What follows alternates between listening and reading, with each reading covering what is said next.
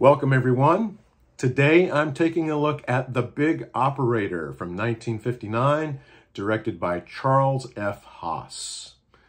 Recycling? Hey, that's not a new thing at all. Movie studios were recycling long before those yellow or blue containers started appearing in our neighborhoods years ago. In 1959, MGM decided to do a little recycling of its own, revisiting a story by Paul Gallico, who also wrote the source novel for The Poseidon Adventure. Gallico's story had been filmed in 1942 as Joe Smith, American, starring Robert Young. In that film, Young plays Joe Smith, the crew chief on a Lockheed assembly line in a defense plant during World War II.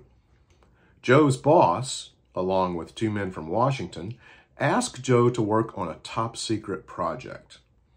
Later, another group of men tried to strong arm Joe into coughing up the plans. Otherwise, his wife, played by Marsha Hunt, and son, played by Darryl Hickman, will disappear. Joe Smith, American, made a modest profit, which is all the inspiration producer Albert Zugsmith needed to cook up a remake. Zugsmith wasn't exactly the king of great ideas, but this one wasn't bad.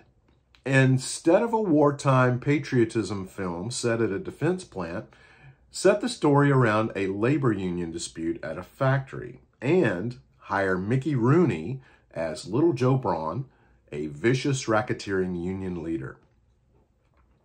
The film opens with Braun having a man murdered, I will not disclose how, by a hitman, Oscar the Executioner Wetzel, played by Ray Danton. When Braun and Wetzel meet to discuss the aftermath of the hit, factory co-workers and buddies Bill Gibson, played by Steve Cochran, and Fred McAfee, played by Mel Torme, witness the meeting, and Braun witnesses them. Braun attempts to entice both Bill and Fred to come work for him, where he can keep an eye on them, really to make sure they don't get any ideas about talking to the cops. When Braun pays a visit to Bill's modest house, the contrast between Cochran, standing six feet tall, and Rooney at five two, is laughable until Bill sits down and Braun remains standing, towering over Bill. It's no longer funny, it's frightening. Here's Braun, a small fry, not only intimidating Bill in his own home, but also spouting innuendos about what he'd like to do with Bill's wife, Mary, played by Mamie Van Doren, in what has to be the most modest role she ever played. Rooney chews his cigar and the scenery with the best of them, but he's also very believable as a blisteringly savage Jimmy Hoffa type labor boss. Rooney had been dipping his toe into the darker stuff for quite some time with films like Quicksand, Drive a Crooked Road, Babyface Nelson, and The Last Mile. But if you weren't paying attention to those films, his portrayal of Braun was likely a big surprise. This ain't no Andy Hardy picture, kids. Steve Cochran is another matter he didn't get the chance to play many good guys, so it's a bit strange seeing him as an honorable character. Cochran's no wimp here, but we're used to seeing him slug somebody at least once a reel. It takes some getting used to, but it's refreshing to see Cochran as a regular Joe who simply enjoys his work and wants to protect his family. It's also nice to see Mamie Van Doren playing a character who's not a sex pot. She really isn't given much to do here, but she does okay. The film also features Jim Backus, Jackie Coogan, Vampira, and a pre-Dennis the Menace Jay North without bleached blonde hair.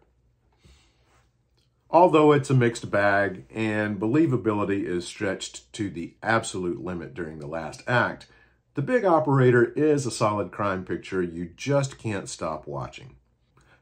I'm not convinced it can truly be called a film noir, but I wouldn't argue the point either.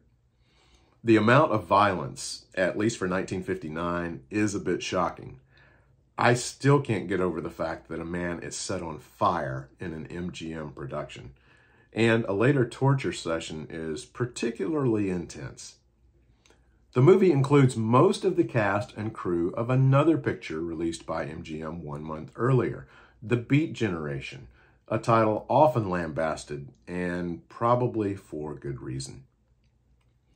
The Big Operator is on Blu-ray from Olive Films, released in 2014, and looks pretty good in CinemaScope. The Van Alexander score is a bit overblown, but that's not uncommon for the era. The release contains zero extras, but is currently on sale at Hamilton Book for six bucks. I think it's worth a look. If you've seen the film, let me know what you think. Thanks for watching.